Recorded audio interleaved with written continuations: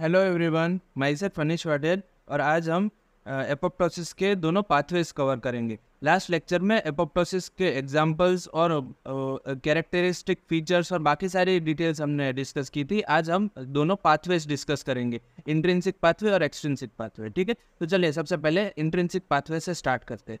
देखो intrinsic pathway में starting कहाँ से होगी? सबसे पहले सेल इंजरी होगी। सेल इंजरी कोई भी फॉर्म में हो सकती है, या तो डीएनए डैमेज हो, या फिर मिसफोल्डेड प्रोटीन की एक्यूमुलेशन की वजह से हो सकती है। सबसे पहले इसको एपोप्टोटिक सेंसर्स है वो सेंस करेंगे।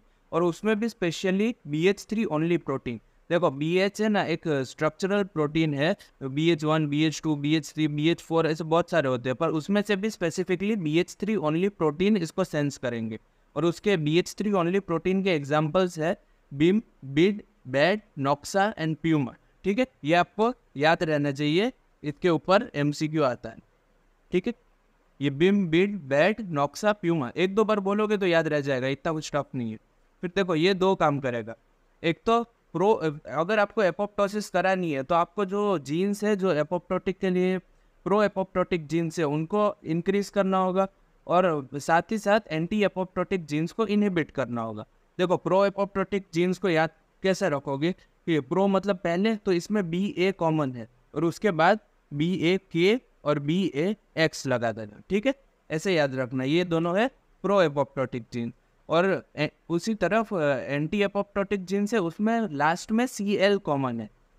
देखो, ऐसे लगा देना बी बी एम ठीक है? B C L one two six B C L X L और एम सी एल वन ठीक है, इस तरह से याद रखना। प्रो एपोप्टोटिक जीन्स और एंटी एपोप्टोटिक जीन्स तो आपको कन्फ्यूज़न नहीं होगा याद रखने में। और इसके साथ साथ ये B H D only protein के तो एग्जाम्पल्स याद रखने ही है। इसके ऊपर खास एम सी क्यू आता है।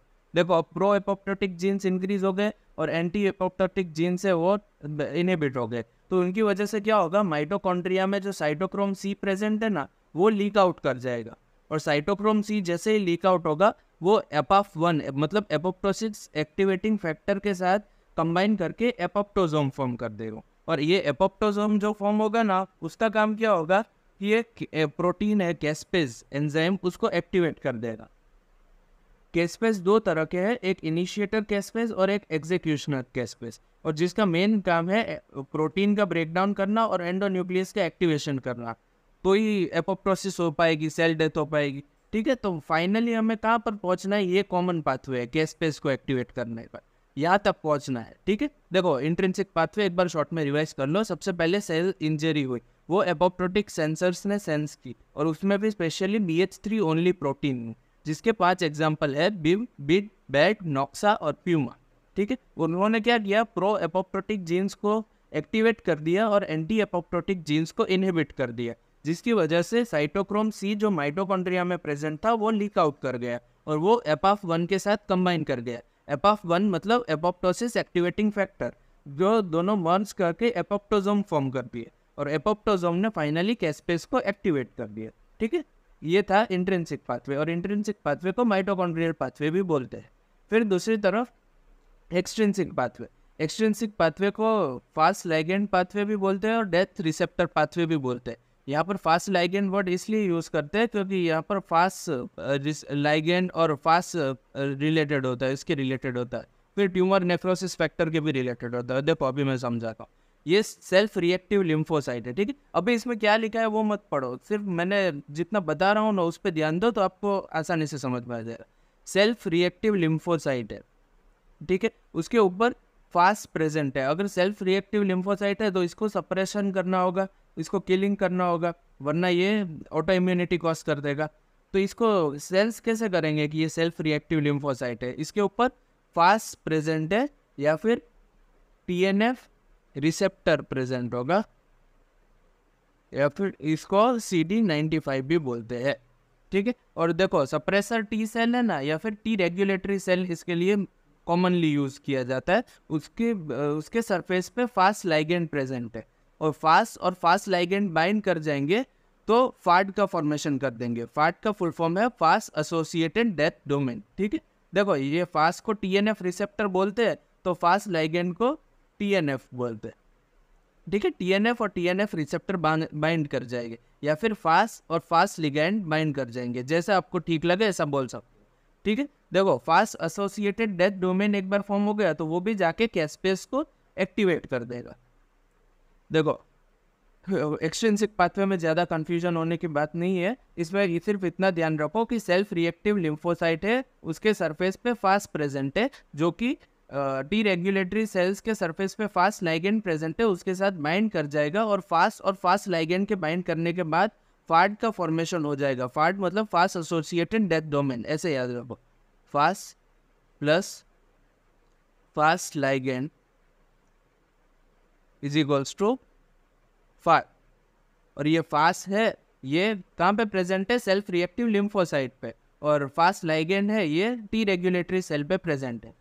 ठीक है? और ये भी जाके कैस्पेस को एक्टिवेट कर देगा।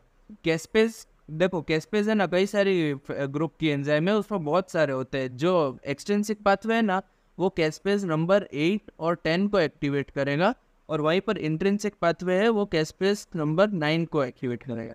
ये इनिशिएटर कैस्पेस में। फिर एग्जीक्यूशनर कैसपेज है, वो तो दोनों में सेम ही है। एक्शन तो दोनों में सेम ही लेगी थ्री और सिक्स ठीक है, ये ध्यान रखना, ये रॉबिन्स में दिया हुआ है तो ध्यान रखना। एक्सटेंसिक पाथवे है, वो एट और टेन कैस्पेस को एक्टिवेट करेगा वहीं पर इंट्रेंसिक पाथवे वो नाइन को एक्टिवेट करेगा। फिर एग्जीक्यूशनल कैस्पेस है दोनों थ्री और सिक्स को ही एक्टिवेट करेगी। और इसका काम है बेसिकली प्रोटीन का ब्रेकडाउन करना और एटोन्यूक्लियस का एक्टिवेशन देखो, थोड़ा बहुत कैस्पेज एंजाइम के बारे में भी जानना कैस्पेज है इसको याद रखने का एक तरीका है C plus S plus ase ठीक है? सी मतलब कंपोज ऑफ़ सिस्टीन इसमें मेनली सिस्टीन प्रेजेंट है। ठीक है? सिस्टीन अमाइनो एसिड फिर एजेस मतलब ये क्लीव करती है। कहाँ पर A S P aspartic acid जहाँ पे दिखेगा इसको, इसके बाद ये क्लीव कर देगी। ठीक है? देखो, यहाँ पर ये प्रोटीन अमाइनो एसिड की चेन है। ये कैस्पेस है, यहाँ पर आएगी, यहाँ पर आएगी। जैसे ही इसको एस्पार्टिक एसिड दिखा, इसके बाद यहाँ क्लीव कर देगी। फिर यहाँ पर यहाँ पर जैसे ही एस्पार्टिक एसिड दिखेगा, इसके बाद क्लीव कर देगी। ठीक है? ऐसा करती है ये कैस्पेस ठीक है? तो ये इतना था एपोप्टोसिस के बारे में। एपोप्टोसिस के बारे में जितना आपको जानना चाहिए था, उतना मैंने लास्ट लेक्चर और आज के लेक्चर में पूरा कंप्लीट कर दिया है। सबसे ज़्यादा इसमें इंपॉर्टेंट है, सबसे पहले जो मैंने एग्जांपल्स आपको बताए थे, वो बहुत ज़्यादा इंपॉर्टेंट है। उसके बाद क्रोमेटिन कंडेंसेशन होता है एपोप्टोटिक बॉडीज फॉर्मेशन होता है कैरेक्टरिस्टिक इवेंट क्या है, वो बहुत ज़्यादा इंपॉर्टेंट है। उसके बाद एक्सट्रेंसिक और एंट्रेंसिक पाथवे बहुत ज़्यादा इंपॉर्टेंट है। तो ये तीन चीज़ अगर आपने अच्छे से कर ली तो आपका एपोप्टोसिस आराम से कवर हो जाएगा। ठीक है, देखो इसमें एक बार डिफरेंस देख लेते हैं नेक्रोसिस और एपोप्टोसिस में। देखो नेक्रोसिस थी, वो मेनली पैथोलॉजिकल प्रोसेस ठीक है, और उसमें पूरा का पूरा टिश्यू इन्वॉल्व हो रहा था। पर एपोप्टोसिस है, वो फिजियोलॉजिकल प्रोसेस है, ज़्यादा कंपेयर टू पैथोलॉजिकल प्रोसेस वैसे भी पैथोलॉजिकल में हमने उसका एक ही एग्ज़ाम्पल देखा था, और फिजियोलॉजिकल उसके कई सारे एग्ज़ाम्पल थे। तो इसमें पूरा टिश्यू इन्वॉल्व नहीं होता, इसमें या तो सेल ऑर्गेनल या फिर पूरा सेल इन्वॉल्व है। ये टिश्यू लेवल पर नहीं, ये सेल्यूलर लेवल पर चलती है, ठीक?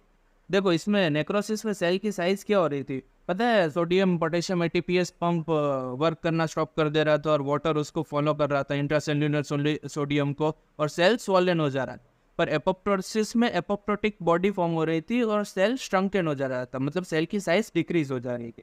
फिर नेक्रोसिस में सेल की आउटलाइन डैमेज हो जा रही थी क्योंकि प्रोटियोलिटिक एंजाइम्स लाइजोजोम्स वैसे डैमेज रिलीज़ हो रहे थे जो सेल वॉल को डिस्ट्रॉय कर दे रहे पर यहाँ पर ऐसा नहीं है। यहाँ पर एपोप्टोटिक बॉडी सेपरेट होने के बाद भी सेल की आउटलाइन है, वो इंटैक्ट रह रही है फिर क्रोमेटिन का नेक्रोसिस में कैरियोलाइसिस हो रहा था और यहाँ पर एपोप्टोसिस में कंडेंसेशन हो।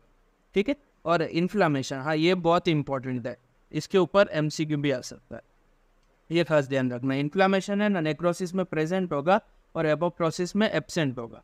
ठीक है? देखो, आज एपोप्टोसिस मैंने कंप्लीट कर दिया। कल नेक्रोप्टोसिस फेरोप्टोसिस और पायरोप्टोसिस कराऊँगा ना तो उसमें आपको देखने को मिलेगा कि कई कई बार एपोप्टोसिस में भी इन्फ्लामेशन देखने को मिलता है, पर उसके लिए अलग टर्म यूज़ होता है। तो अभी के लिए तो आपको यही ध्यान रखना है कि एपोप्टोसिस में इन्फ्लामेशन एबसेंट होता है, क्योंकि यहाँ पर न्यूट्रोफिल का क्या बोलते हैं इनफिल नहीं होता है, यहाँ पर मैक्रोफेज इन्वॉल्व होता है। नेक्रोसिस में न्यूट्रोफिल इन्वॉल्व होता है, इसीलिए यहाँ पर इन्फ्लामेशन प्रेजेंट होता है। और यहाँ पर एपोप्टोसिस में इन्फ्लामेशन एबसेंट होता है ना, ये कई बार हमें कन्फ्यूज़ कर देता हो कि हम उसको लाइट माइक्रोस्कोपी में देखेंगे तो वहाँ पर इन्फ्लामेशन प्रेजेंट होगा तो हम सीधा बोल सकते हैं कि ना ये क्या बोलते हैं सेल इंजरी हो गई। पर यहाँ पर एपोप्टोसिस में इन्फ्लामेशन न प्रेजेंट होने की वजह से हमारे लिए ये फाइंड करना थोड़ा सा टफ हो जाता ठीक है?